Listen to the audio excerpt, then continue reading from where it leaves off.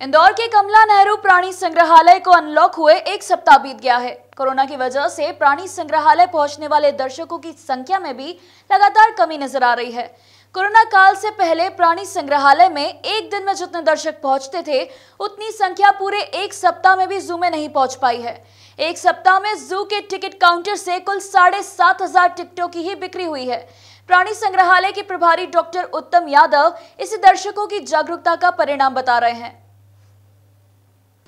जू हाँ अभी जो एक हफ़्ता हुआ है और एक हफ़्ता में निश्चित रूप से कोविड के कारण थोड़ा सा लोगों में एक अवेयरनेस है कि ज़्यादा भीड़ नहीं हो रही है और ज़्यादा भीड़ नहीं होने के कारण जो पब्लिक का फ्लो कभी साढ़े तीन, चार हज़ार लोग पर डे का था, वो अब समीट के मात्र हज़ार बारह सौ पर डे के आसपास रह गया है।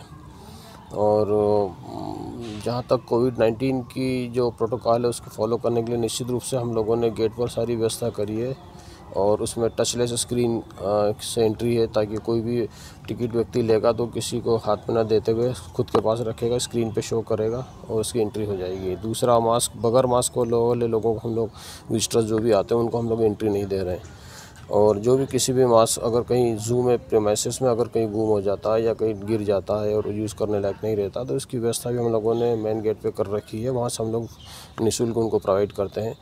और लोग लगा अलग अलग स्थानों पर हम लोगों ने कुछ साइनेजेस वगैरह भी लगा रखे हैं लोगों को अवेयर करने के लिए ताकि जालियों से दूर रहे रेलिंग को न छुए, इधर उधर थूके नहीं। तो ये सब सारी व्यवस्था हम लोगों ने कर रखी है, जिसके तहत कोविड के प्रकोप से बचा जा सके और लोग भी सुरक्षित रहे, दूसरों को भी सुरक्षित रख सकें।